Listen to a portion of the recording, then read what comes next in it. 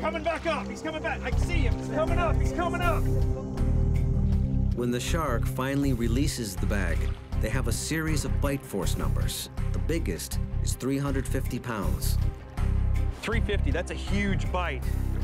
But it's still not even close to the bull shark. And how long do you think that shark was? You know, it wasn't the biggest shark. It was only about three meters, nine, 10 foot. So nine or 10 feet, that's about the same size as the bull shark that gave us a 900 pound bite. This guy, 350 pound bite. That's still a huge bite, but nothing close to the bull shark. And I'm convinced. The bite bag is a great new design, but also the bull shark has the stronger bite. I mean, that's a big shark, nothing even close though to 900 pounds. You know, from my side, it's a bit disappointing. Great whites are your pinnacle shark. This is what uh-huh. I've had as a pinnacle shark. Yeah, not so great anymore, my friend. It's totally unexpected. The much smaller bull shark is the bite force leader. But that doesn't mean it's the deadliest predator. There's another factor that could tip the scales. Great whites don't usually attack people, but when they do, their teeth can leave behind a deadly stew of bacteria.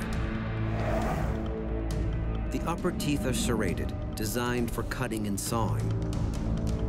The teeth in the lower jaw are used for impaling.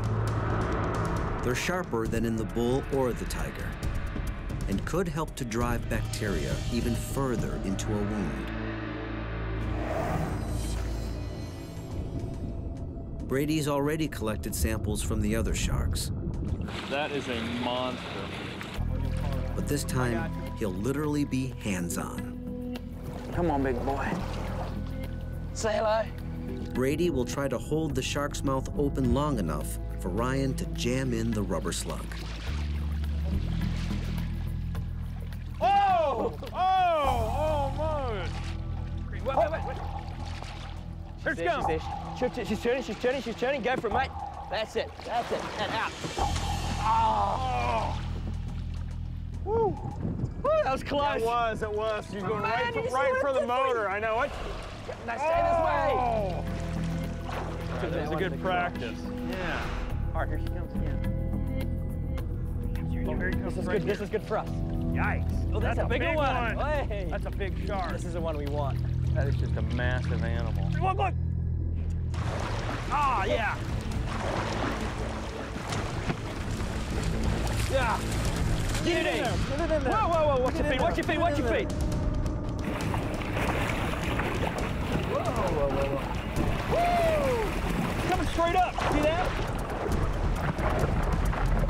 See that maw? That thing is this big. When you talk about looking death right in the face, gosh.